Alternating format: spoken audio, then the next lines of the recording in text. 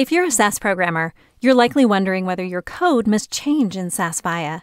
Before we dive in and address that question, let's first discuss a few key concepts. The SAS Viya platform includes multiple servers to execute SAS code. The two primary servers are the SAS Compute Server and SAS Cloud Analytics Services, or CAS. You can think of the SAS Compute Server as equivalent to the SAS 9 Workspace Server. Your familiar SAS 9 programs can be submitted as is, and by default, they'll run on the compute server. There's no need to learn new syntax to use the compute server.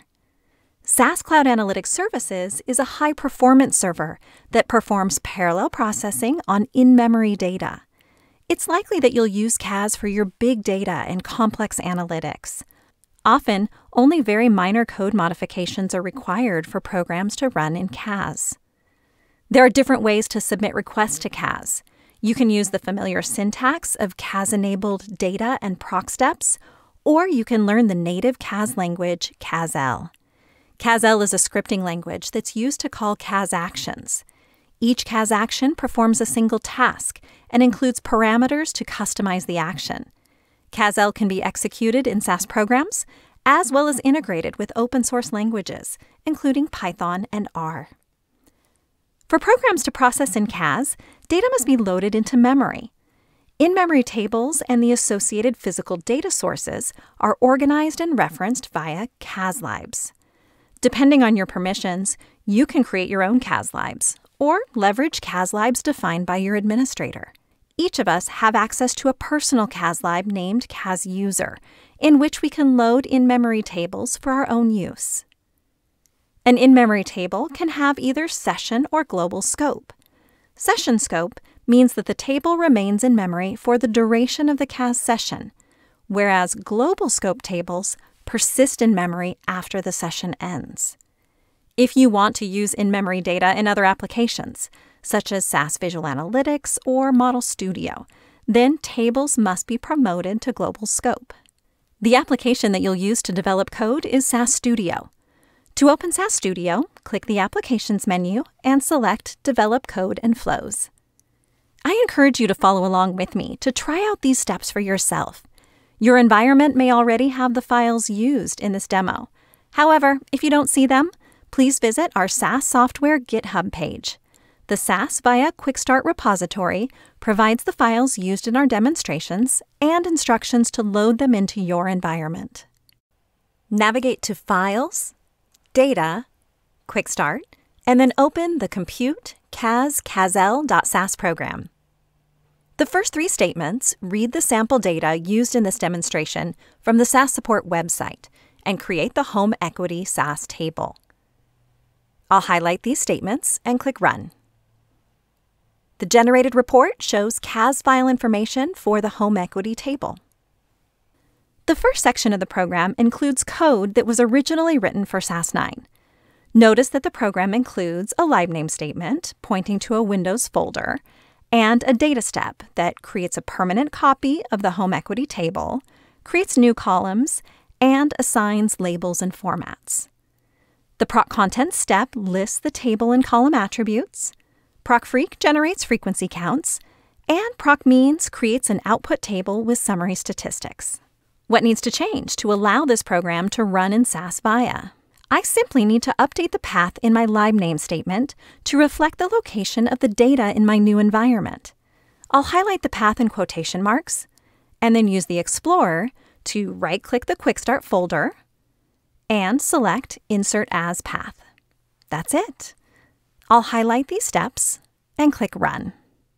This program executes on the SAS compute server. It processes the data just like the SAS 9 workspace server and returns results for proc contents and ProcFreq, and output tables for the data step and proc means. What if you want to take advantage of the CAS server to process in memory data? I can make minor modifications to my program to make that happen. First, I need to start a CAS session. A simple CAS statement with the name for the session, my session, will do. Second, I need to load my data into memory via a CASLib. I'll show you two methods. One option is to use the CASUtil procedure. The load statement loads a variety of file types, including SAS tables, CSV files, Excel files, and DBMS tables. This load statement reads the work.homeequity SAS table and creates an in memory table named Home Equity in the CAS user CASLib. This is a simple and efficient way to import and load data.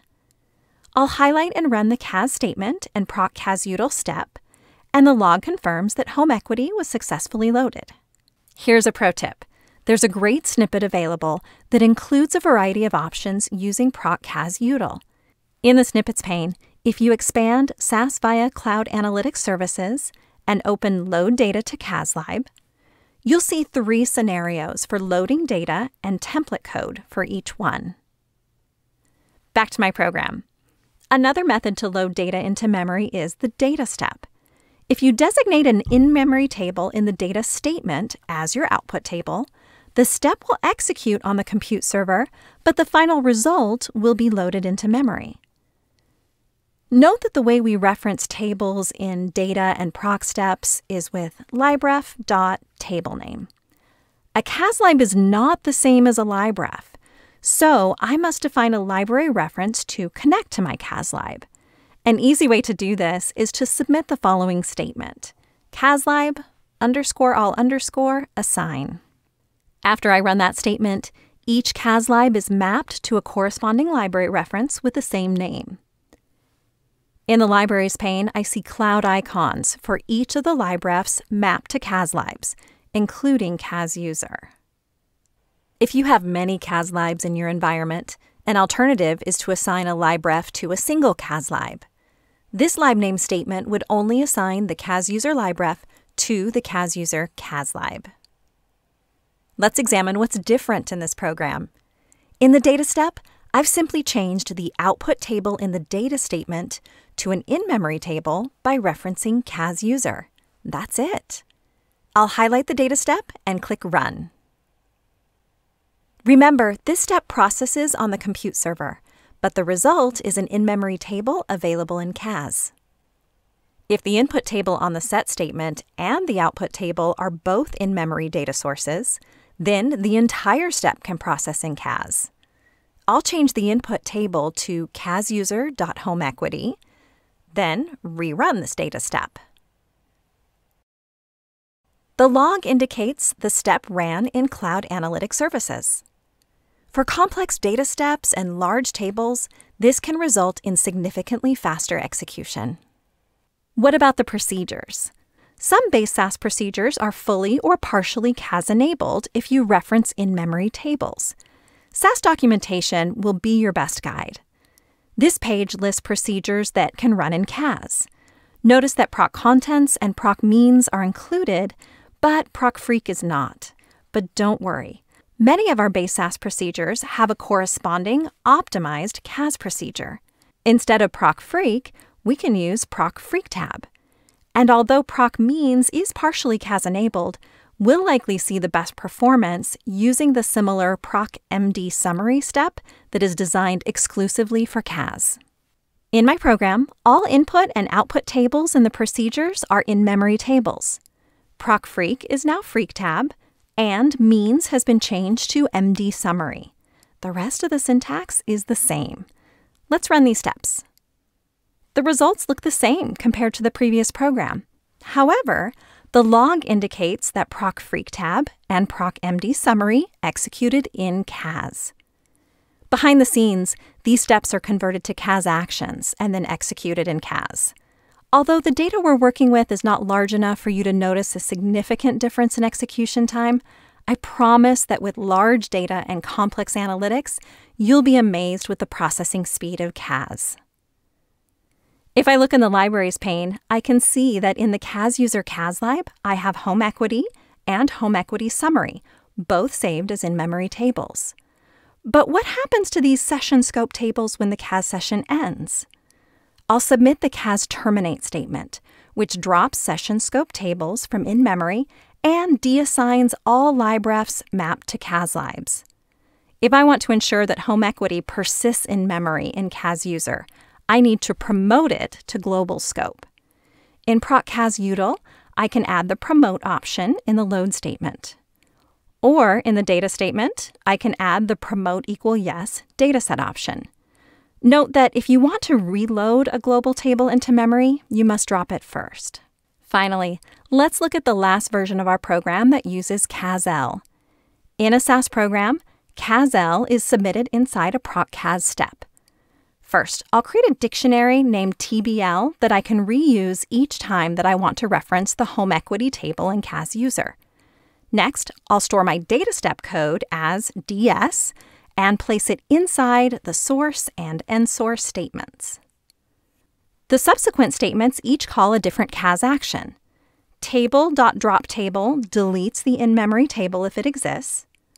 Upload loads the table.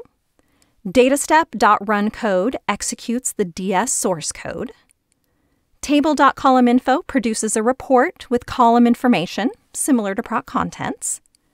Simple.freq calculates frequency counts. And Simple.summary creates an output summary table. This collection of CAS actions produces similar results as the previous programs with lightning speed. That will get you started programming in SAS Viya, but obviously there is much more to learn. I encourage you to visit the SAS Learning Center for many great free training options and other helpful resources.